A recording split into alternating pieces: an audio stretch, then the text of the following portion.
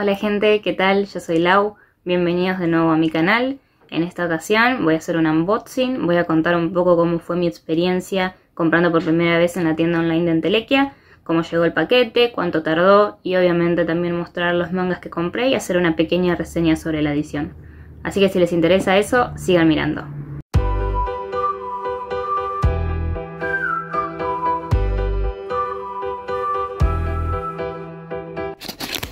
Ok, primero que nada quiero pedirles disculpas por abrir la caja de una manera tan estúpida. Eh, lo estoy haciendo con una sola mano porque estoy usando el celular con la otra para grabar porque no tengo un trípode todavía. Así que bueno, por eso tardo más de lo usual. No es que sea tan tarada para abrir una caja. De hecho, no es difícil de abrir al menos esta caja. Eh, pero sí se ve que, que vino con una caja dentro de otra caja tipo mamushka. Bueno, yo hice la compra en la página de Entelequia el día lunes a la noche.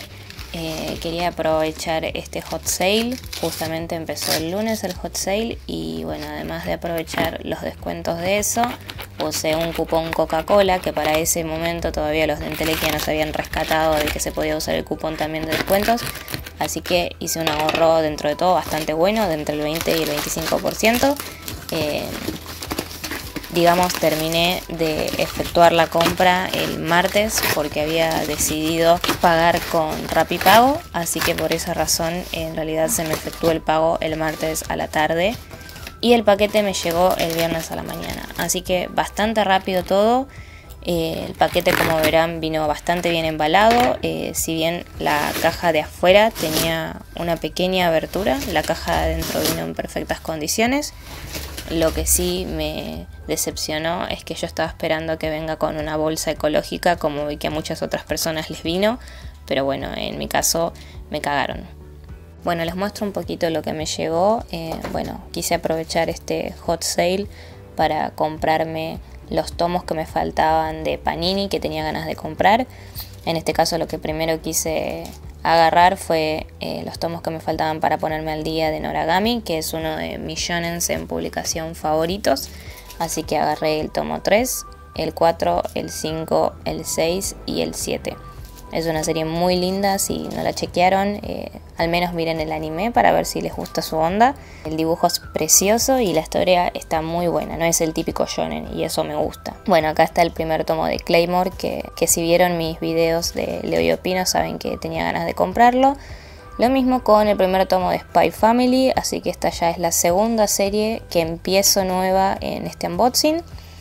Y bueno, también quise ponerme al día con Atelier of Witch Hat, que es un manga que me gusta mucho, lo sigo hace bastante, eh, el arte es espectacular, así que me compré el tomo 2 y el 3 y también estoy al día ahora con esta serie.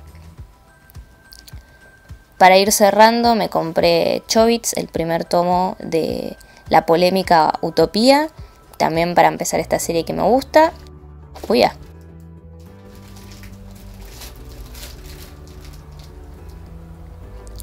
Y también me compré un par de tomos de Sakura en esta edición deluxe hermosa que me encanta. Amo Sakura obviamente, es parte de mi infancia, así que aproveché y me compré el tomo 6, el tomo 7, que me vino un poquito doblado acá.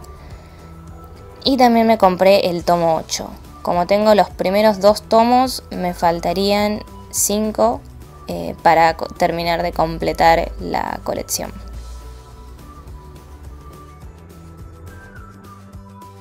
Bueno, y acá les muestro un poquito cómo se ven los tomos. Para evitar redundancias no voy a mostrar los tomos que son de la misma serie. Eh, bueno, este es el tomo de Claymore, que es bastante prolija la edición, me gustó bastante. Lo que sí un poquito decepcionó, pero no sé si será que la edición japonesa es así también, pero bueno, no tiene ninguna página color. Fuera de eso, igual la edición es muy linda. Eh, como no leí ninguno de estos tomos, no puedo opinar sobre la traducción, así que todavía no sé qué tal está eso.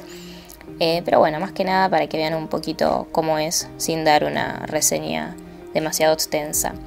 Bueno, acá está el famoso Chobits que dio mucho que hablar. Eh, tiene muy lindos detalles en la casa sectorizada, por todos lados, hasta en el lomo tiene eso. Miren qué lindo. Eh, lo que sí, por alguna razón me vino medio doblada la tapa, ahí se puede ver bastante en el video. Eh, y bueno, esta edición tiene un montón de páginas a color, una banda, y vienen en el, mismo tipo de hoja que trae el resto del manga, lo que me llamó bastante la atención. Eh, lo que sí no me gustó, que creo que esto le pasó a la mayoría, es que tiene muchos kanjis adentro del manga, no solo en la tapa, que la verdad siento que al menos a mí no me gusta mucho cómo queda. Pero bueno, igual voy a seguir comprando este manga. Eh, me gusta Chobits y quiero apoyar a Utopía. Y bueno, acá está Spy Family que tiene una sobrecubierta hermosa, toda metalizada, que las fotos no le hacen justicia porque se ve preciosa en, en físico. Así que nada, quería empezar también este manga del que hablé en mis videos.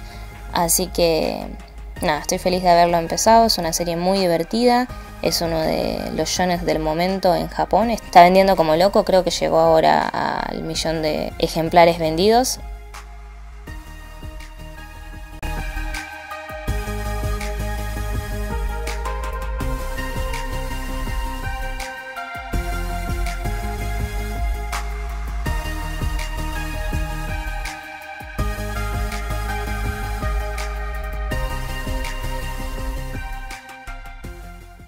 Bueno, acá está Atelier of Witch Hat, eh, que bueno, también tiene una sobrecubierta preciosa, el arte de la mangaka es impresionante, está a otro nivel por completo.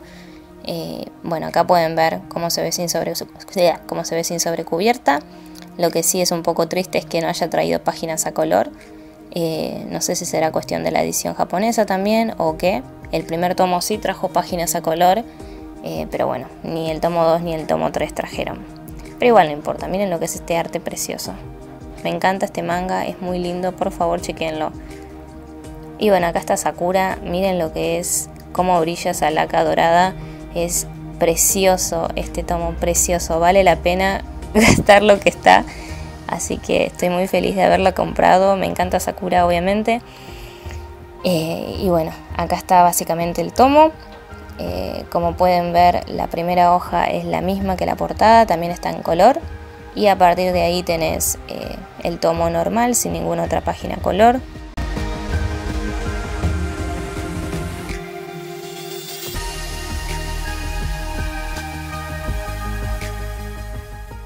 Acá está el tomo de Noragami, eh, esta es la sobrecubierta muy linda. Se nota que Panini aprendió de los errores que cometieron en los otros lugares donde publicaron Noragami. Y bueno, acá se ve que tiene el mismo dibujo que tiene la sobrecubierta. Eh, lo que me gusta mucho de esta edición es que trae páginas a color en todos los tomos. Eh, que eso es algo que, por ejemplo, yo había comprado la edición Yankee en su momento de este manga y no traía páginas a color ninguna. Así que chequeé todos los otros tomos que me compré en Origami y todos tienen la primera página a color, que es una ilustración siempre muy linda. Así que eso me gusta mucho.